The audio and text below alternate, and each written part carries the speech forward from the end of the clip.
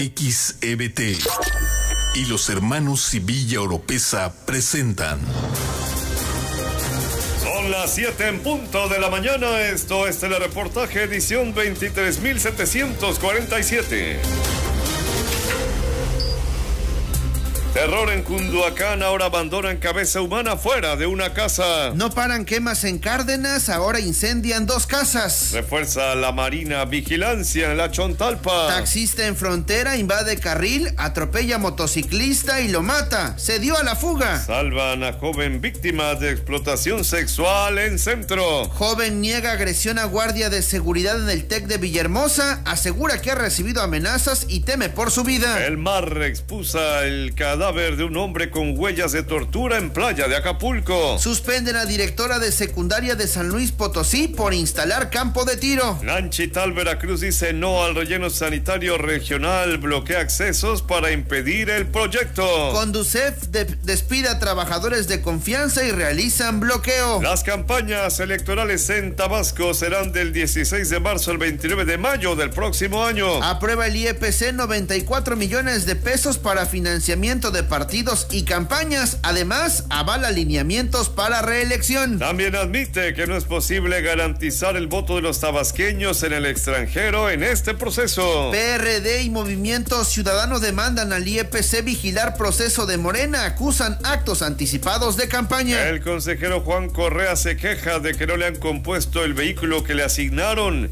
Hay otra dinámica presupuestal, le contesta el IEPC. La UJAT advierte que no permitirá proselitismo en sus instalaciones hasta que no haya formalmente candidatos. Es tiempo de mujeres, sostiene Olga Limonchi al confirmar que buscará la alcaldía de Jalapa. Jenny Rodríguez buscará candidatura por el PRD en Tacotalpa, se medirá con aspirantes del Frente Amplio. Mario Delgado asegura que los inscritos para contender por las gubernaturas están siendo encuestados buscan que ningún perfil competitivo quede excluido. Arremete Gutiérrez Luna contra Rocío Nale, critica que no nació ni creció en Veracruz. Difunden video en el que aspirante de Morena al gobierno de Chiapas recibe dinero de David León. Revelan presunto plagio de Sheinbaum en su tesis de licenciatura. Transcribió párrafos de un libro en inglés publicado un año antes. Anunciará Obrador el lunes modificaciones en su gabinete. Defiende AMLO a Ana Guevara dice no tener evidencia de que haya cometido un delito. Otorgan amparo a Graco Ramírez, el exgobernador de Morelos, para no ser detenido. Nominan a Xochil Gálvez para la medalla Belisario Domínguez. Recibe María Victoria Galán Pajés, medalla conmemorativa Gabriela Gutiérrez Lomasto. Estima con agua lluvias intensas en Tabasco por ingreso de humedad en el Golfo de México. Va el gobierno por nuevo aumento al salario y pago mensual de la pensión para adultos mayores.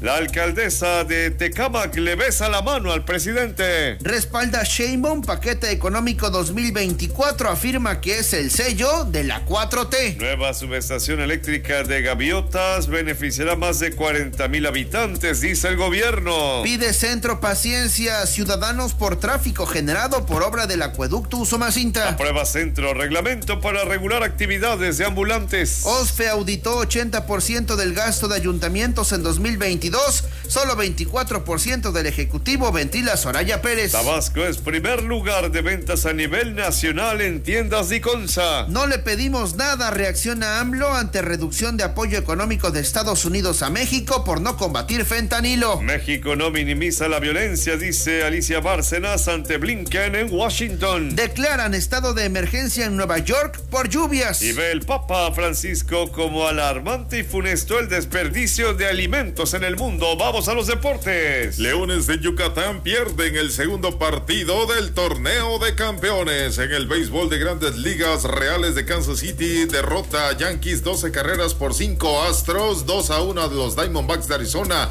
y Blue Jays vence a las Rayas de Tampa 11 carreras por 4. Tijuana y Cruz Azul suman sus tres puntos en la jornada 10 del fútbol mexicano para hoy. Pachuca contra Necaxa, Mazatlán contra Tigres y América enfrentará a Pumas en el clásico capitalino. Por cierto, tres mil policías resguardarán inmediaciones de la Azteca por el clásico capitalino entre América y Pumas. Autogol de Sergio Ramos le da la victoria al FC Barcelona sobre el Sevilla. México será sede del campeonato femenino sub-17 de la CONCACAF. Destina el Comité Olímpico Internacional y la CONADE 96 millones de, pesos para atletas en Juegos Panamericanos 2023. Encienden el fuego de los Juegos Panamericanos en Teotihuacán con bandera neutral. Podrán competir atletas rusos y bielorrusos en los Paralímpicos 2024. Insaculan jurado para Premio Estatal del Deporte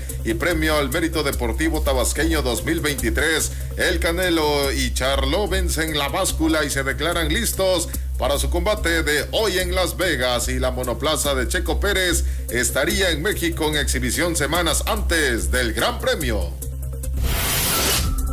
Telereportaje, el periódico del aire, el primero con las últimas noticias. Buenos días Villahermosa, buenos días Tabasco, buenos días Chiapas, buenos días Veracruz, buenos días Campeche, buenos días Yucatán, buenos días México.